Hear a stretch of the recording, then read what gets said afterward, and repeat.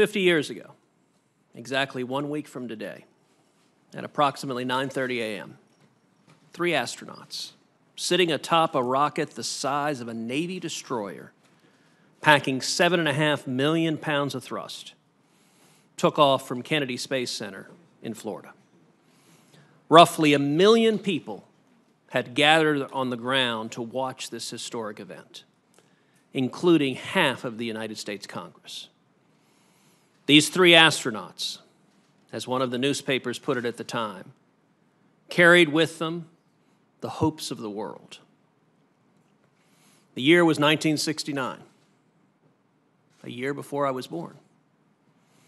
The astronauts were Neil Armstrong, Buzz Aldrin, and Michael Collins, and the mission was Apollo 11. Armstrong and Aldrin would go on to make history a little more than 100 hours later, when, with more than a third of the Earth watching or listening live, they became the first humans to ever set foot on the moon.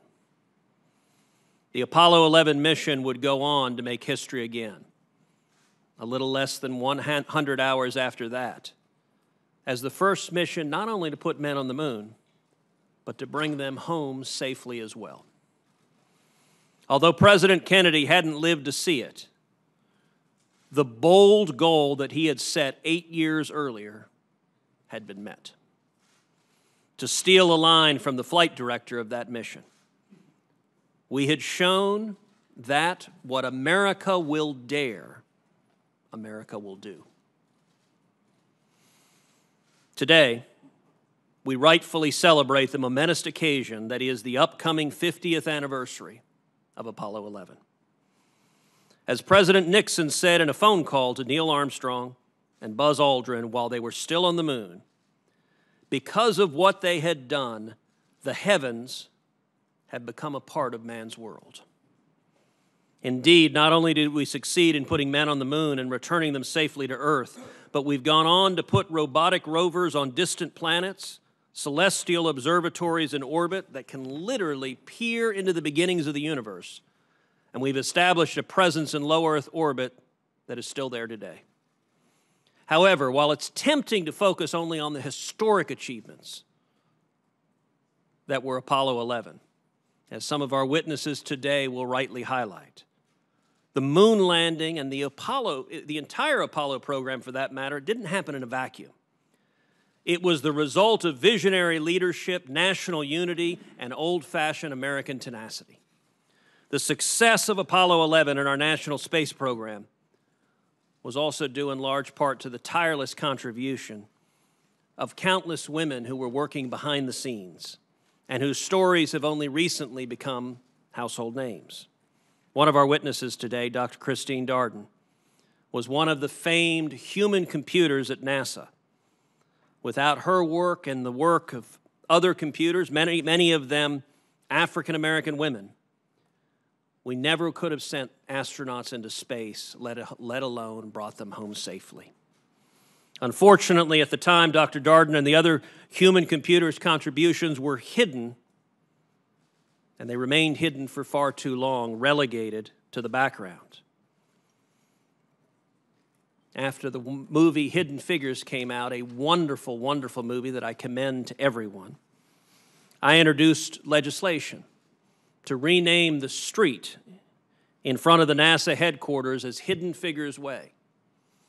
The DC City Council, in turn, took up the idea, and just a few weeks ago, I was proud to join Dr. Darden and the family of those other legendary human computers at the dedication of the new street sign in front of the NASA headquarters so that now, a decade or a generation or a century from now, when a little girl or little, little boy goes to visit NASA, she or he will say, Who were they?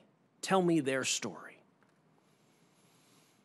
As we look at the space landscape today, we see it's far different from the landscape of 1969. Uh, America and the Soviet Union are no longer the only players in space. Government space programs are no longer the only game in town. And our technological capabilities, both in terms of our ability to plan mission and how long these missions are have changed dramatically. What do the next 50 years of space exploration look like? And what should we seek to accomplish? We need a bold vision, a vision that sees the commercial space industry thriving. I have long said that the first trillionaire, I believe, will be made in space. In 50 years, we, we will have gone back to the moon. Indeed, the United States will return to the moon as part of the Artemis program. Artemis is the twin sister of Apollo. And this time, when we return to the moon, NASA has committed that we will land the first woman on the moon, an American astronaut. And on behalf of my two young daughters, let me say thank you, and it's about time.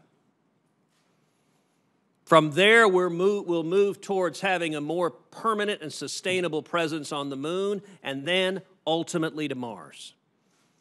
Just a couple of years ago, I was proud to author the bipartisan NASA Authorization Act, signed into law, in which every member of Congress and the House and Senate in both parties united to say the objective of space exploration for NASA is to go to the red planet and land on Mars, and that the first boot to set foot on the surface of Mars will be that of an American astronaut. The next 50 years have the potential to be even more consequential than the last.